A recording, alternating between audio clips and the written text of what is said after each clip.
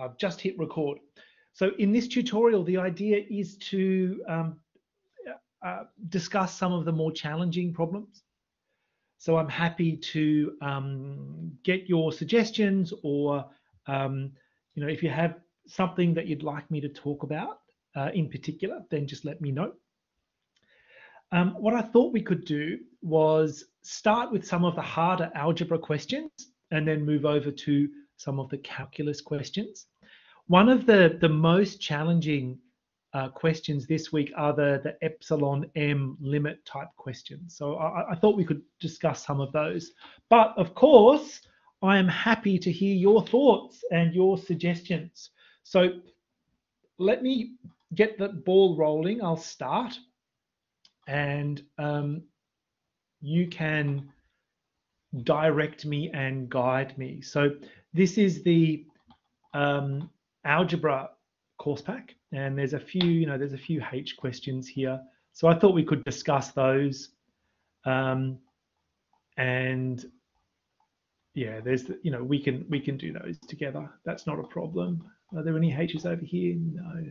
All right. Remember the X questions are for Math 1141 only. Okay, so don't worry about the X questions. All right, so um, let's have a look at this, this question here. Um, it, it, looks difficult. The, the only thing that, that is really difficult about this is um, understanding where this fourth point D can lie. Okay, so um, there, there are three options there. So let me um, let me show you what what we can do there, and um, I'll go go over to my document camera. So let me know what's happening in the chat. Let me know. All right. So um, the the question is number 21.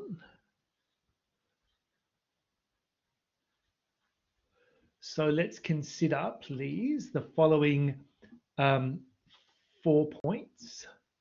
So you've got A, which is here, B here, C here, uh, yep, and let's put let's make D X Y and Z. So we're in three-dimensional space here. And what we want to do is find the coordinates or the position for D such that this thing is a parallelogram. Okay. So th th there's lots of different ways to do it. So one way, let's say A, uh, C, um, let's say B's here, Okay, so let's say this is what it looks like. Yep.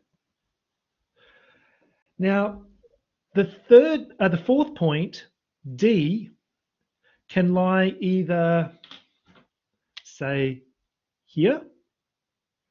It could lie here, or it could lie over here. Okay, so there's three different kinds of parallelograms that you can get. If the point D is here, then that's it. If the point D is up here, then you would have it like that.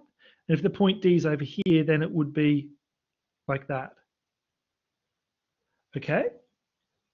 So this is just one example, but there are two other cases that you can consider. So I'll, I'll just do, do this case, but you can do the other cases all right? Um, just knowing that there are three parallelograms that are possible is very powerful, okay? All right, so let's discover what kind of conditions we have. Parallelogram. We want the two pairs of opposite sides to be equal, basically. Like they're parallel and they have the same length. Okay, so we want these things to be equal. Okay, so if D is unknown, who can tell me what is the relationship then between AD and CB? Can anyone tell me in the chat what what is the relationship between the vector AD and the vector CB? Let me know you're alive out there, people. Let me know what is the relationship that or the equation that we want to solve. Who can tell me? Anna, Kevin, Jordan. Hello. So Kevin and Jordan, you're correct. They're both parallel. And because it's a, we want a parallelogram, they'll actually be equal in length as well. Okay.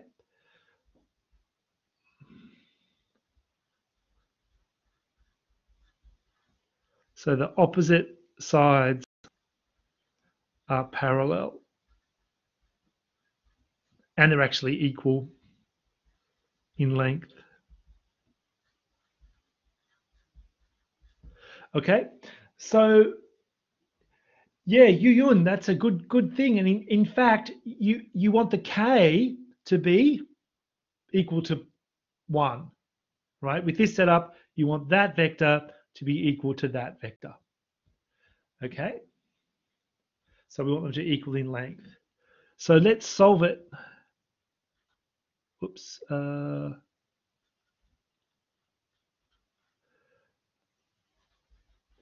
AD equals CB.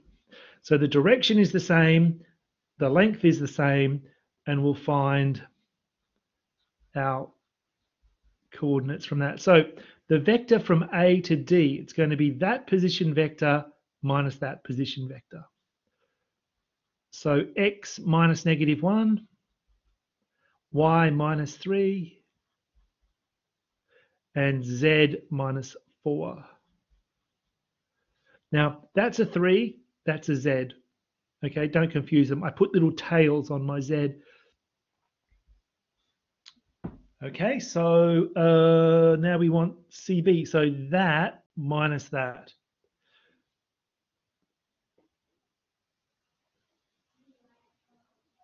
Uh, let me just check something, 463. So, yeah. So that minus that. So 4 minus negative 1 will be 5. 6 minus 3.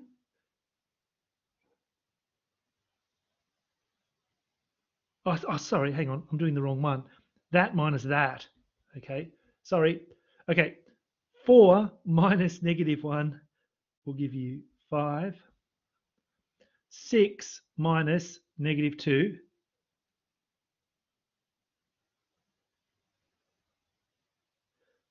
6 minus negative 2 will give you 4, and 3 minus 1 will give you um, 2.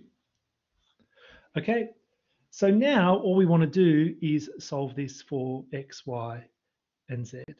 Okay, so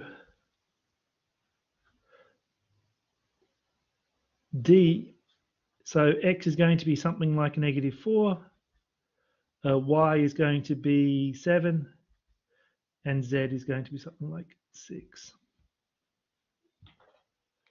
Okay. So there we go. Now remember when you solve these kinds of vector equations, it's just like a system of equations, a linear system. You just solve in the component-wise fashion. Okay.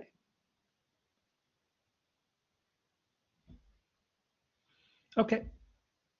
So uh, is X positive? Oh yeah, positive four. Thank you. Thank you, Brendan. Good spotting. Yeah, positive four. So don't make the mistake like I did. All right. Um, yeah. So there are three. There are three other cases. I won't do them. They're similar. So in that case, you would have D up there or D over there, and you would just draw a new uh, parallelogram, and um, you would just you know have different, slightly different vectors here. Okay. All right. So that's um, that's a H question, but I don't think it's it's super difficult. um, once you know how to do it. Okay. All right. So let's have a look at another one. Question 22 is very similar, but you don't have um, particular points. Okay, so with this one, um, drawing a picture is super important. Again, three points with position or coordinate vectors. Um, and you want to add an extra point to form a parallelogram, calculate vector expressions for these points. So, so it's, it's very similar to the previous example, but it's slightly general, more general because we don't actually know the, the positions. Uh, I did talk about this in the Monday tutorial quickly, but I can spend a little bit more time on it now. Okay. So Joseph, H means hard, R means standard or routine, V means there's a video solution. Okay.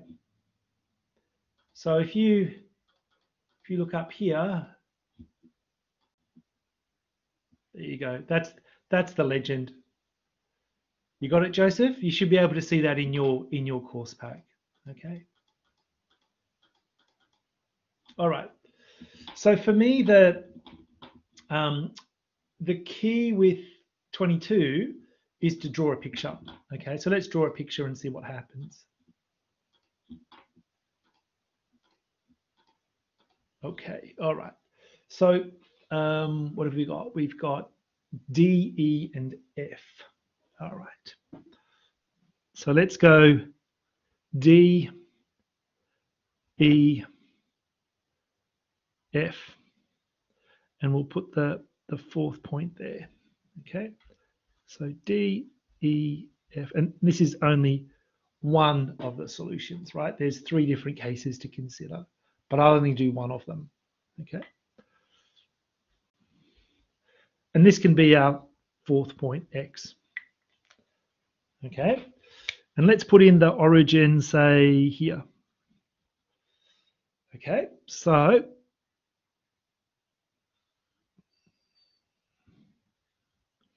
what I would like is to compute that vector there. Okay, because once I know the, the position vector, then I know its coordinates. Okay, and we want this to be a parallelogram. Okay, so obviously these are parallel and the opposite sides are equal. Okay, so um, um, let's say uh, we want DE to be equal to XF and we want EF to be equal to dx. Okay, so it, this is much easier than it looks. Um, what we want to do is go from here to here, but we actually don't know what this is. We know this point, this point, and this point. So what that means is we can compute that vector, that vector, that vector, okay? So who can tell me, how can I get from zero or the origin to x by adding or, or subtracting vectors? Who can tell me in the chat?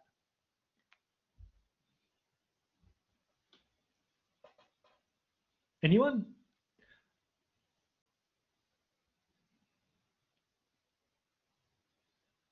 Who can tell me? Right, I know.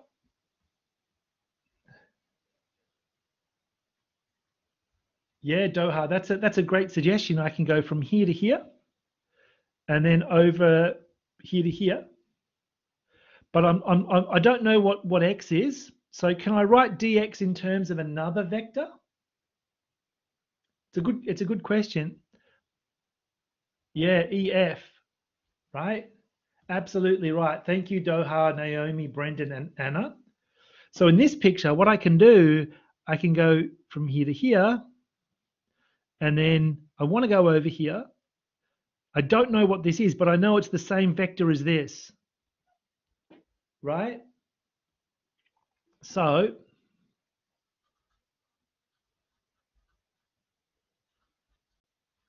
So let's use your ideas. Now dx has the same direction and the same length as EF.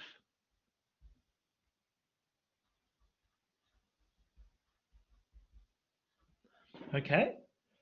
Now, what who can tell me on the chat what is the in terms of the position vectors E and F how can we write this? All right, so this is like, that's the position vector, that's the position vector, that's the position vector. Yeah, Anna, thank you.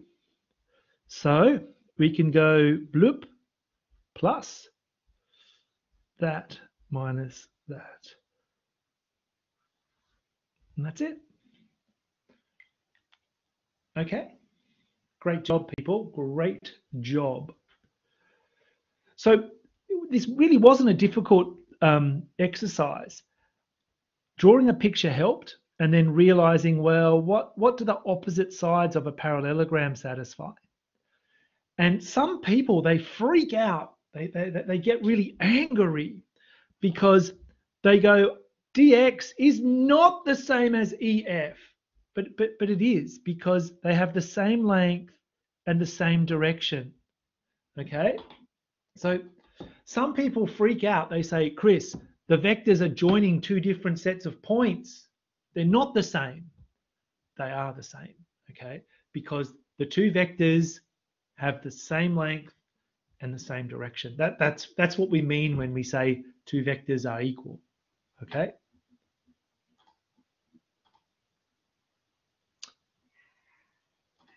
All right, so you can do the other two cases for that, okay? So B and uh, uh, the other two cases, the other, uh, sorry, the other expressions for the two for the other two points are, are very similar. Okay. All right. Let's keep going. I might do another. Oh yeah, let's do one of these. Let's do 29.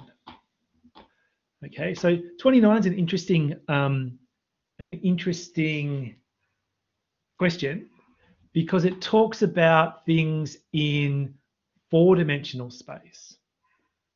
Okay, so what I think what they're trying to get you to do there is to understand what's happening in three-dimensional space and work out some diagonals and then try to work out what happens in four-dimensional space.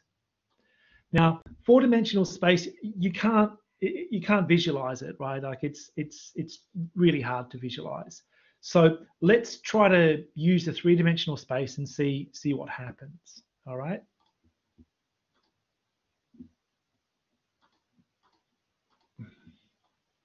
All right. So we've got something like this.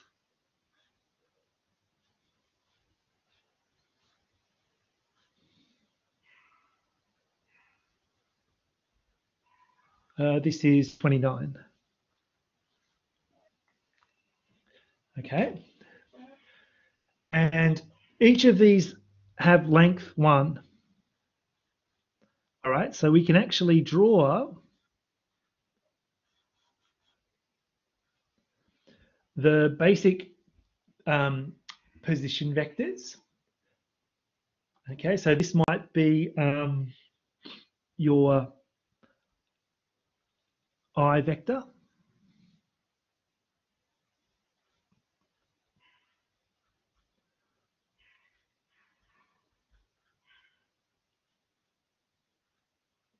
Okay. And what they're trying to do is to get you to compute the um, the the length from say here to here, and then from here up to here. Okay. So um, let, us just take this point here. This this will be the point one one one. Okay. So let's work out the distance from here to here. Okay, that's a pretty easy way to do it. Or you could do it from here to here or whatever. Okay, so the distance from to, I'll just go down to that one. Okay. Um, we can work that out from Pythagoras' theorem, right? So let's um, uh, let's work that out. So it's going to be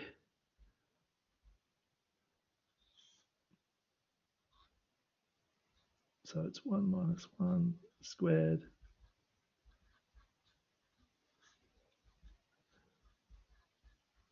So that's zero, and we're going to get square root of two. So that that's what they mean when they talk about you know the distance from there to there along a face, or from there to there, there to there. Okay. And so now what they want us to do is to work out the distance from the origin to this point here. Okay. So that's root 2. We want that distance, and this is 1 here, of course. Okay, so the distance from, say, 1, 1, 1 to the origin, that's the origin there, that's just going to be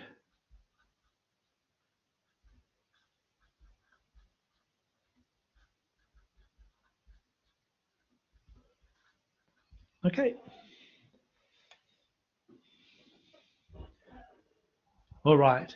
So you can see what we really did there was we said, okay, we've got three basis vectors, i, j, and k. So that, that would be i, that would be j, and that would be k okay? And using those vectors, just adding them together, we can get to every corner on the cube. Okay, so they're our basis vectors in, um, in three-dimensional space. Now with four-dimensional space, it gets a bit crazy. So let's let's have a look at four-dimensional space and see what see what we can what we can do. Okay, so this is by no means an easy concept or an easy idea to grasp. All right, so instead of these being our basis vectors,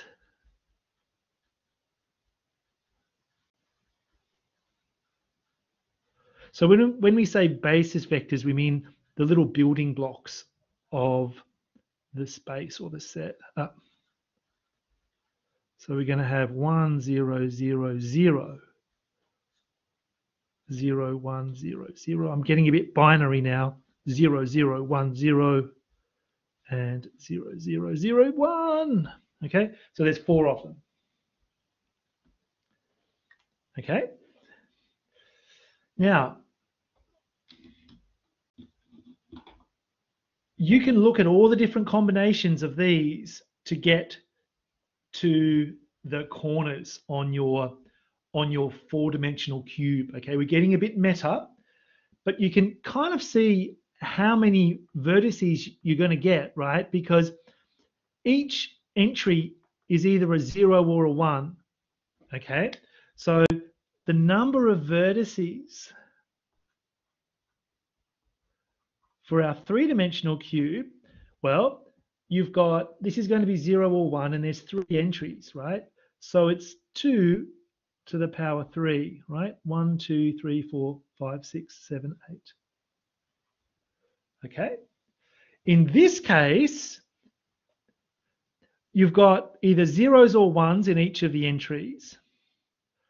The vertices are going to be equal not 2 to the power 3, but 2 to the power 4. Because there's four parts and they're each either 0 or 1.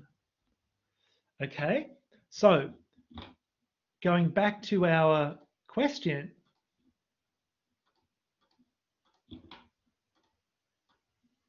how many vertices does a 4 cube have? 16. It has 16. Okay, and what will the diagonals be? Well, you can repeat the same process from the previous um, uh, three-dimensional space. You're just looking at the distances between the corners, right? So um, let me let me just show you how to do that quickly, and then I'll move on to a different a different question.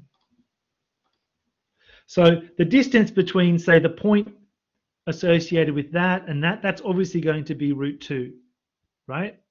And if you added that plus that plus that, and you work out the distance to the origin, the length is going to be root 3. If you add that and that and that and that, you know, similar to what we did up here, the distance to the origin would be 2. Okay? So that, that's a pretty interesting question because it's trying to get you to think in higher dimensions where you can't actually see it in your mind. Okay. Um, who can tell me on the chat how many vertices does a five cube have? Who can tell me on the chat how many vertices does a five cube? Yes, 32. Excellent. Excellent. Okay. So um, I can't imagine something like that, but um, they do exist, right? They do exist. Okay, shall we do some calculus questions? Let's do them, okay? So if you have anything else you want me to work on, then hit me up in the chat, okay? Hit me up in the chat. All right, so um, what I thought we could do is, is just do a routine one. Um, students find these, these questions very difficult. Okay, they find, they find this part very difficult. Okay, so I thought we could discuss that and maybe I'll look at some some H questions like uh, like like this one. Okay, but let's let's try this other one first. Yep. All right. write down the formal definition of this, epsilons and m's. Evaluate this, verify from the formal de definition. Okay. So what do people think? Is, is would you would you class this as a challenging question? Okay. So is it? I'm going to say, is it easy or not? Um, so, some students find it easy, not many though, not many students. So let me write some notes and we can do it together.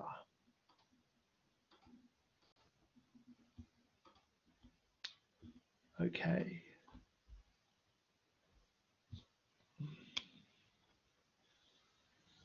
So this is question four. from the calculus. Okay, so write down the formal definition of the statement. Well, here it is from lectures, right? Let L be some number and let F be a function. If for every positive value of epsilon, there's a number m such that this distance is small, when x is big enough, then that's what we mean when we say the limit of the function equals this number L. Okay, so and the challenge is to find or construct uh, an M that works for every positive epsilon. So this distance, this is a distance here. It's usually small when x is large enough. So how, how large does x need to be for this to work for every epsilon? Okay, so that, that's, that's what I did in lectures. Um, so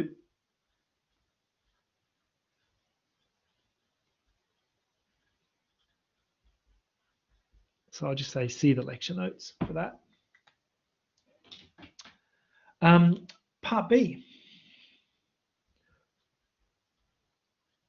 Who can tell me on the chat what is the actual value of the limit? Who can tell me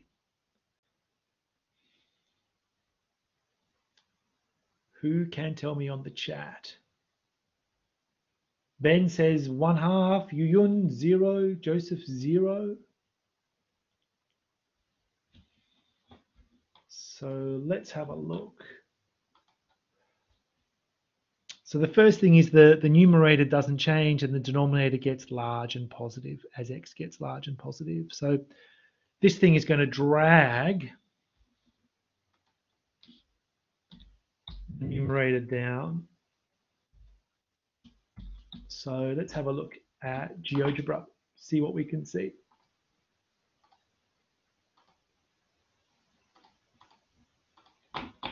Okay, so, okay, it looks like the function as we go off to positive infinity, it looks like the function is approaching zero quite quickly. Okay. So if I was um, doing this question, what I would do is I would recognize that this is just zero. Okay, so that'll be our value for L in, in the third part.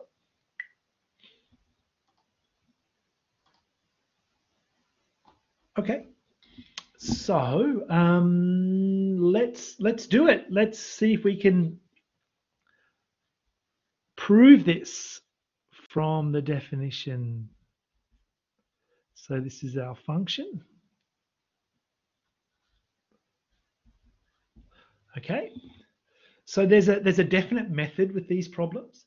Um, one way is to start with this, simplify, and then solve an inequality to get your m. Okay, so so let's have a look.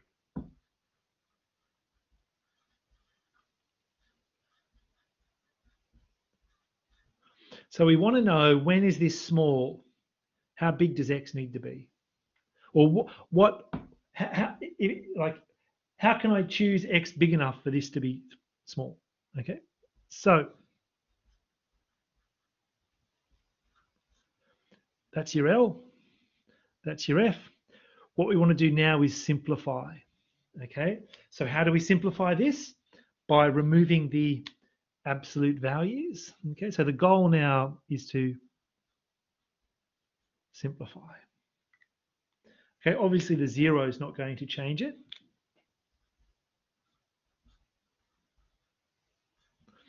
And I can take the absolute values away because 1 is positive, 2x squared is positive.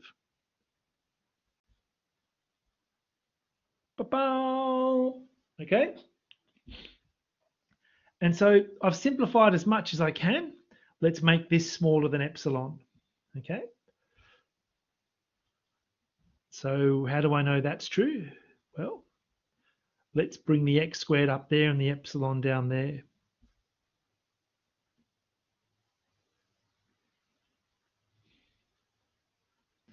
Okay. But we don't want x squared bigger than that. We just want x. Well, let's go with, so we'll solve this and we'll say that it's bigger than zero. Okay, the reason I'm taking it bigger than zero is because we don't need to worry about whether x is positive or negative here. Okay, so this is going to be your m.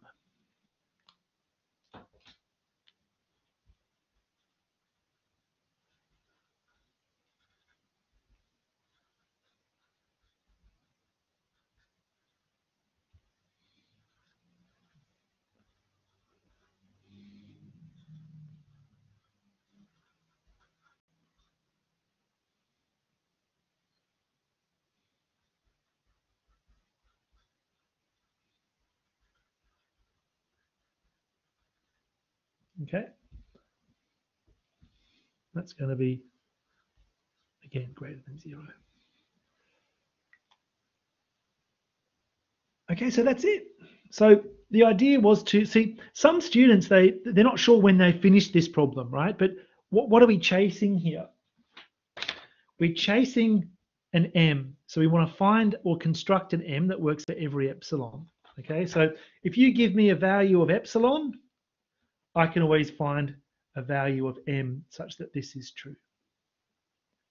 Okay, now don't worry too much if this looks very strange to you. Um, mathematicians took a long time to really get these ideas together and, and, and understand them. And it's one of the hardest things in this course um, to understand. Um, you know, you've seen limits before, probably at high school, but this is very, very um, formal and, and very um, you know, some people find it very, very difficult, and it's it's it's very abstract. Okay. All right. Um, questions? Let me know if you have questions on the chat. Everyone's pretty quiet. Are you alive out there? You know. Okay. I always get worried when people don't ask questions because people are like sleeping or doing other stuff, right?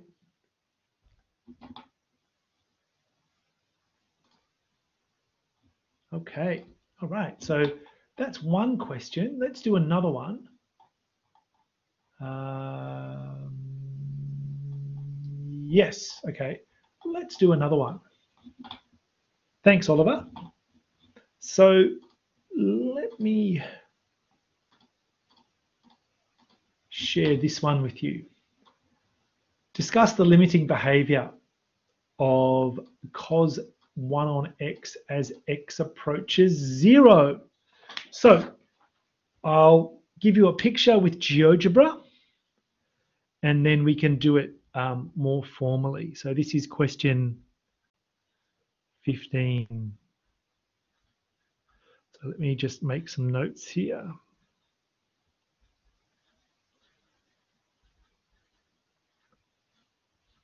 Okay. All right. So let me show you my document camera.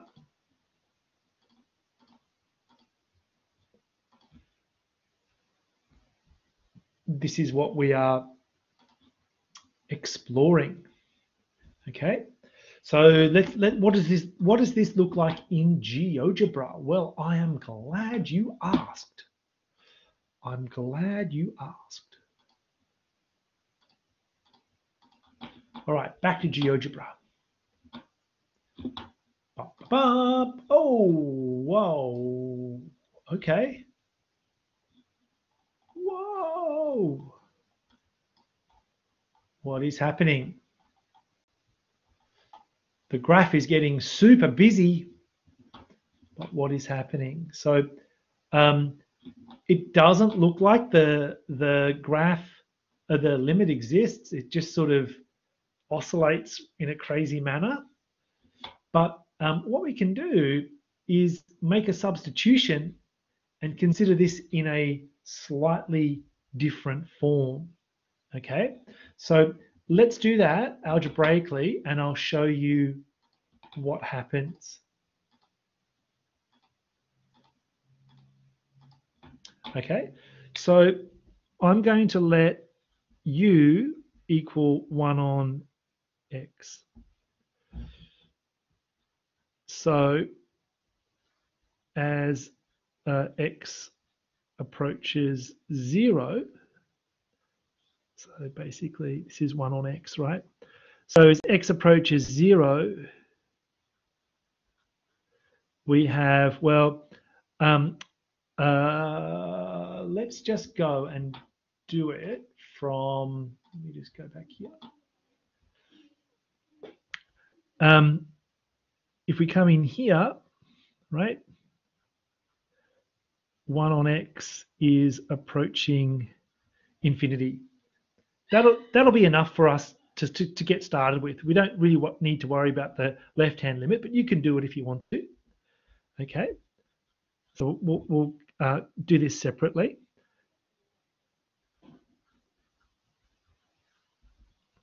So let's let's um, consider this thing. So, so u is going to go to infinity, and we are looking at cosine u. All right. So now it's like, well, to sort of understand that limit, we're going to look at this limit first and see what happens. So who can tell me what is this limit in the chat? Who can tell me?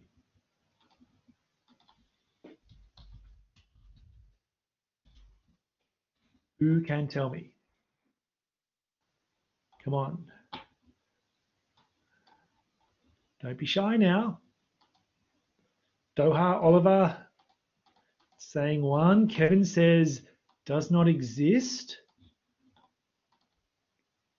Ah, but remember Doha, we're approaching infinity here. We're not approaching zero, right? Hmm. So Kevin, I think you're yeah, Kevin and Aichin, I think you're you're you're spot on there. You're correct. So let me just show you with GeoGebra. So here's the cosine function.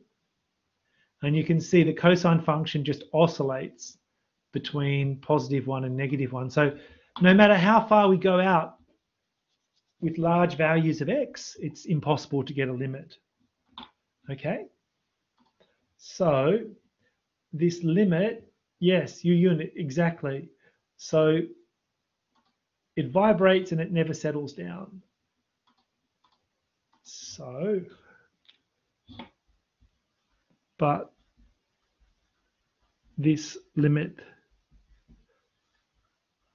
does not exist.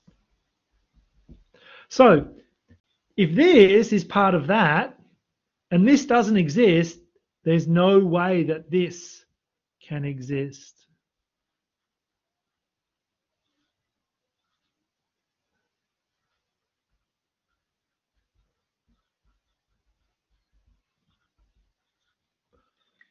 Okay, there's, uh, there's absolutely no way because this doesn't exist, this cannot exist. All right, so one of the, the nice things there, we just used uh, like a substitution and we looked at one of the limits. Okay, we just looked at one of the limits.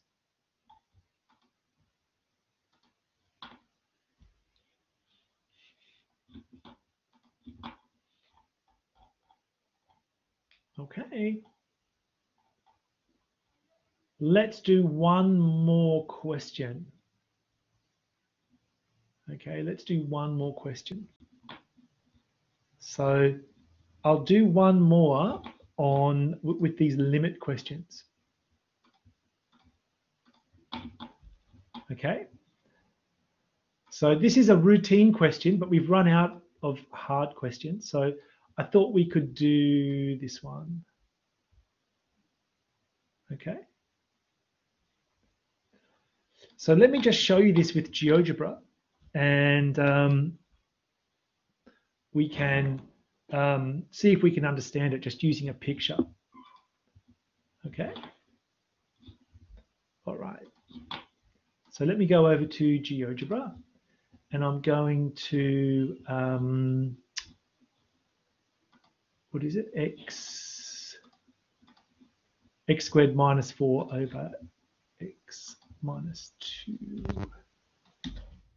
So let me share this with you in a second. Yeah.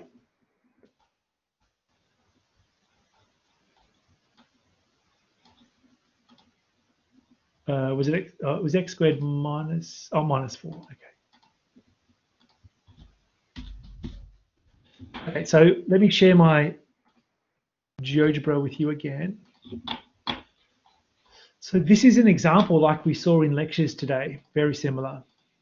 Okay.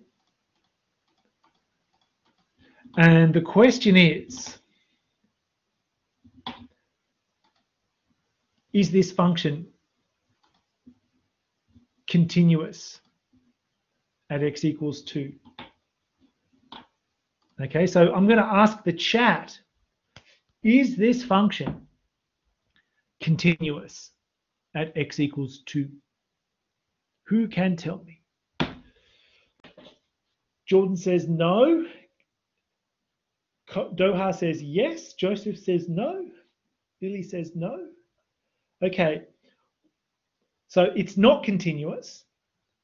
But who can tell me why, why is it not continuous? If you wanted to explain that to someone, what reasons would you give? How can we justify that that's really not continuous at, uh, at x equals 2? What might you write in the chat?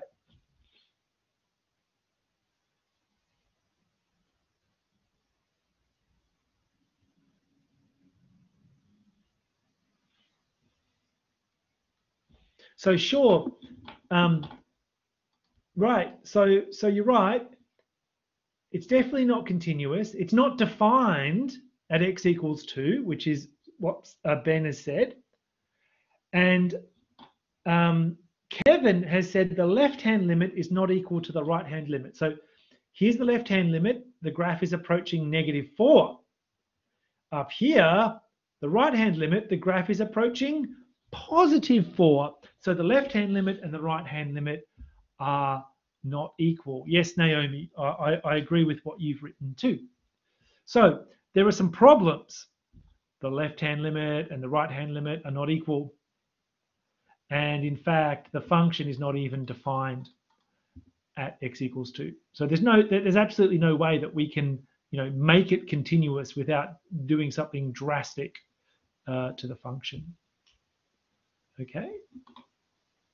Yeah. So um, what, what I like to do when I get a question like this is to draw a picture. And, you know, sometimes I'll just use my pen and pencil to do it, but um, it's much easier with something like GeoGebra. Okay, much easier, or Maple even, or, um, you know, maybe you've got a graphics calculator that you're using. Um, it's okay to use graphics calculators um, in the final exams and, and the lab tests.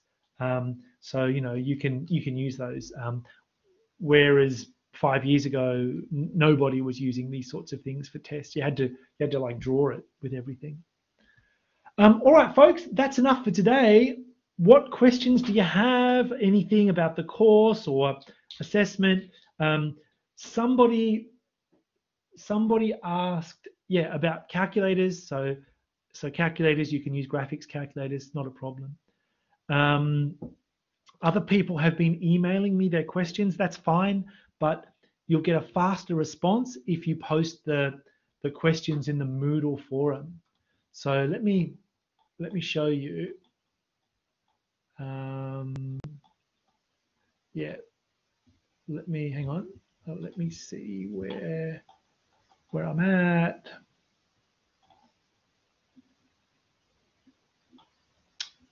Um, yeah, so if I share this with you, let me just share this.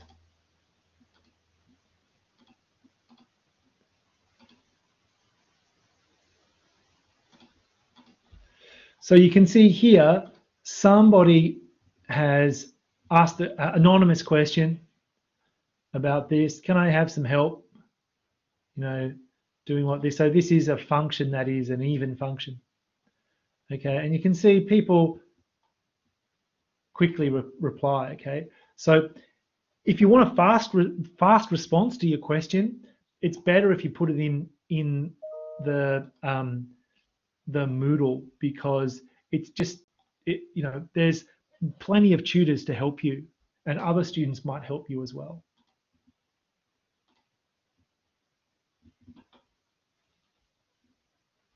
Yeah, Brendan, it's a good question.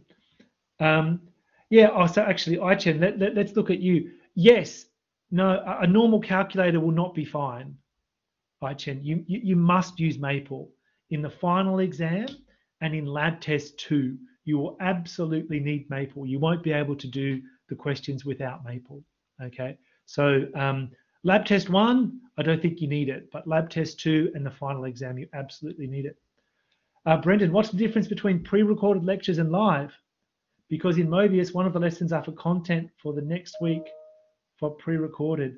Um, the pre-recorded lectures are just, um, they can help you with Mobius. Uh, and there's also other ones. Let me see if I can find them. Um, let me just go back here because they might be. Okay, so let me just go back, see what I can find. So um, let's have a look.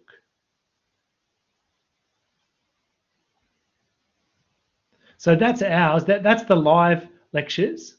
And here's the pre-recorded lectures. So you can look at those if you want to. It's up to you. Okay, you can download them if you want to. But one of the strange things, Brendan, is that sometimes the the content doesn't quite match between Mobius and the live lectures. Okay, so people were asking me last week, oh, why, why are we doing epsilon m questions? We haven't done that in lectures. Well, they're, they're trying to get you to prepare for, for um, the, the stuff in lectures. So it's a little bit of a mismatch, but it's never usually anything super serious. Okay, I hope that hope that um, helps. Right. Uh, just to remind everybody, the week one Mobius has been pushed back. You can still um, you can still submit it up till Monday 1 p.m. But most I think most people have submitted it. Naomi, what is the best way to prepare for lab tests? Great question. You will get some practice exams for the lab tests. So every term, students get some practice exams for the lab tests, and you just do the practice questions. And the, the real questions are very, very similar. There's no surprises in the lab tests. So just wait, some lab tests from practice lab tests will be released, and you just you just do them because um, um, they're the best way to prepare for the lab tests.